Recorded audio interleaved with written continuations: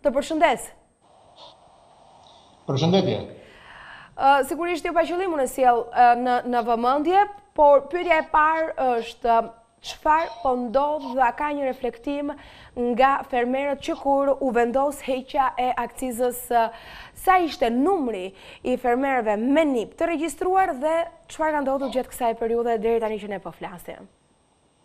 Atëherë, Numri i fermerëve, ne flasim në fillim të tetorit, ka qenë rreth dyzet e shtatë mijë, dyzet e shtatë mijë e gjashtëqind. Po. Sot, në fillim të dhjetorit, numri i fermerëve me nipt është dyzet e nëntë mijë e njëqind e dyzet e nëntë, për për të qenë ekzakt. Pra, ka një rritje me rreth një mijë e pesëqind nipte të reja, nipti fiskal ose nipti i fermerit. një mijë e pesëqind nipte, mua më duket pra një shifër e ulët krahasuar me sesa fermerë ne kemi dhe a po merr, po bëhet ndonjë fushatë, si po asistohen fermerët për t'i bindur që të bëhen pjesë, pra të të pajisen me nipt. Mhm. Patjetër, domethënë, Aktualisht ministria është duke përfunduar udhëzimin përkatës, i cili do të miratohet pas miratimit të vendimit të Këshillit të Ministrave. Ju siç e dini, e keni parë edhe nga lajmet në proces në procesin e miratimit të buxhetit, fondet janë vënë në dispozicion, janë rreth dhjetë milionë dollarë. Me miratimin e vendimit të Këshillit të Ministrave dhe të udhëzimit, i cili përfundon deri në fund të dhjetorit, Do të kemi pastaj një fushatë ndërgjegjësimi e cila do të zgjasë rreth një muaj, në të cilën do t'u bëhet fermerëve thirrje për t'u për të marrë pjesë në proces. Siç e thatë edhe ju në fillim të emisionit, është Panegociueshëm që fermerët të jenë të pajisur me NIPT-in e fermerit ose me NIPT-in fiskal. Kjo është pjesa kryesore me të cilën zhvillohet procesi. E kuptoj, por çfarë, çfarë e ngadalëson, unë do ta quaja ngadalësim procesi në fakt, çfarë ndodh me fermerin gjatë kësaj periudhe, nuk po depërton informacioni ashtu siç duhet, po na penalizon pandemia, nuk janë të angazhuara strukturat e ministrisë? Për t'i bindur, për t'i takuar, për t'i sensibilizuar, për të patur akses në informacion? Jo, natyrisht, i gjithë procesi me hapjen e thirrjeve, e thirrjes, e cila do të fillojë mendohet që në fillim të muajit të ardhshëm, pra në fillim të muajit janar, dhe do të vazhdojë një për rreth një muaj, do të ketë një fushatë shumë agresive, ta themi me pak fjalë, në të cilën do të do të ndikohen, pra do t'u bëhet thirrje fermerëve që të që të regjistrohen në që të pajisen me NIPT-in. Gjithashtu do të ketë edhe një proces në të cilin të gjitha strukturat e ministrisë dhe kryesisht ato të AZHBR-së dhe të AREB-it do të jo vetëm që do të marrin pjesë në ndërgjegjësimin e fermerëve, por gjithashtu dhe do t'i ndihmojnë në procesin e regjistrimit dhe të aplikimit.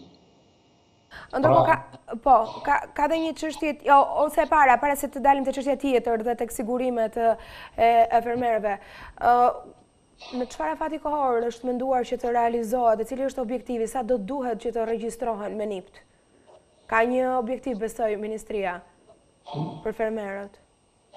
Shiko, aktualisht fondi i vënë në dispozicion është rreth rreth 10 milionë dollarë dhe kjo është sigurisht e lidhur me me pjesën e sipërfaqes së tokës e cila do të mbështetet, pra që do të mbillet. Dhe parashikohet që gjithë ky proces të jetë i mjaftueshëm të paktën deri në të dhënat që ne kemi sot aktualisht si Ministria e Bujqësisë. Por në rast se, domethënë, ky fond përfundon, pra i gjithi ndahet, atëherë do të zbatohet parimi kush regjistrohet i pari, ai do të, pra, domethënë, do të marrë i pari karburant me, me çmim të, të reduktuar. Zoti Kristo, që fermerët po regjistrohen dhe po pajisen me NIPT, a nxit kjo edhe sigurimin e tyre, marrëdhëniet me kompanitë e sigurimit, të cilat sigurt që kanë hezituar, sepse ne e dimë se çfarë ndodh, përmbytjet, fatura e madhe që kanë pra fermerët herë pas here. Gjithë procesi i i dhënies së furnizimit me karburant, me karburant me çmime të të reduktuara, është një proces i cili shkon drejt formalizimit ose drejt regjistrimit dhe dhënies, të krijimit të një sistemi më të formalizuar në në sektorin e bujqësisë. Do të kemi parasysh një gjë që ë gjithë sigurimi i prodhimit ose të gjitha proceset e tjera do të vijnë procese të lidhura dhe ose të bashkëlidhura me me procesin e e e furnizimit me karburant.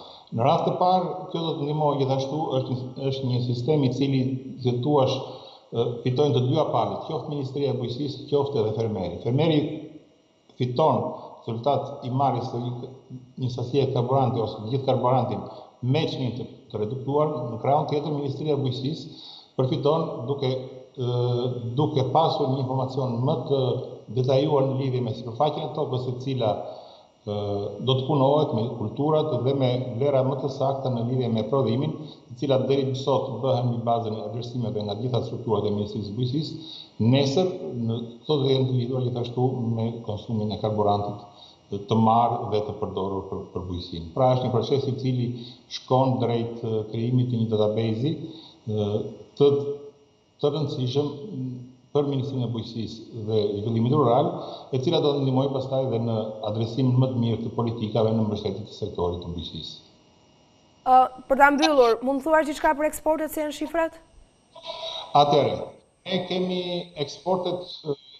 Ne janë të deklaruar, të paktën unë po jap eksportet e deri si nëntë mujor, pasi eksportet si dhjetë mujor akoma janë në fazën përfundimtare dhe nuk janë përfunduar plotësisht, por si, si nëntë mujor ne unë mund të them që eksportet janë në, rritur në masën 16 deri 20% sipas perimeve apo në prodhimeve të tjera fruta perimeve. Dhe për vit, dhe për si dhjetë mujor këto eksporte janë me tendencë rritje, pra po dhe mendohet që ky vit me gjithë situatën e pandemisë dhe gjithë problematikat e tjera që ka pasur si vit i jashtëzakonshëm, bujqësia ka performuar në mënyrë shumë të mirë, duke rritur eksportet dhe duke siguruar tregje të reja në të gjithë jo vetëm në pjesën e Ballkanit ose në pjesën rreth nesh, por edhe në tregjet e reja në Evropë, në të gjithë Evropën. Është e qartë. Unë të falenderoj për gjithë sa ndave me ne, jo pa qëllim e sollëm në vëmendje sepse ka vërtet interes. Faleminderit edhe juve. Unë ju bëj thirrje të gjithë fermerëve me këtë rast dhe kjo të shërbejë. Përmes televizionit tuaj që të nxitojnë të ta ndjekin me me shumë interes sepse është me të vërtetë një ndihmesë e madhe që shteti shqiptar, qeveria shqiptare i jep sektorit të bujqësisë. Dhe kjo do të me të vërtetë do ta reformojë dhe do ta revolucionarizojë komplet bujqësinë shqiptare në drejtim të uljes së kostove, rritjes së eksportit dhe natyrisht një furnizim më të mirë të tregut vendas, duke ulur, në krahun tjetër, edhe importet e produkteve bujqësore. Pra, biem dakord që kjo është një shifër e ulët në krahasim me pritshmëritë, vetëm një mijë e pesëqind të regjistruara, apo jo? Më shumë që është që janë rritur, janë rritur, domethënë vetëm për një periudhë dymujore janë rritur me një mijë e pesëqind, por. Pasi doli, pra, vendimi, po flas edhe unë.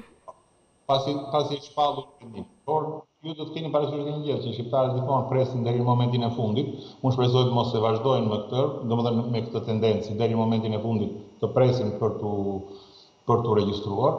Por ajo që do të rrisë në mënyrë, besoj, në mënyrë të menjëhershme do të jetë Periudha e hapjes së thirrjes në të cilat do të jetë do të bëhet gjithë aplikimet do të bëhen nëpërmjet portalit e-Albania, pra me zero dokumenta si të thuash me letër, por vetëm me të gjitha dokumentat online dhe do të kemi natyrisht një rritje të interesit. Unë besoj dhe të gjithë ne ndajmë bashkarisht që nafta është zë një kosto të rëndësishme në në kostot e prodhimeve bujqësore dhe ne presim si Ministri e Bujqësisë që edhe interesi dhe dhe numri i aplikantëve nga ana e fermerëve do të jetë shumë i madh.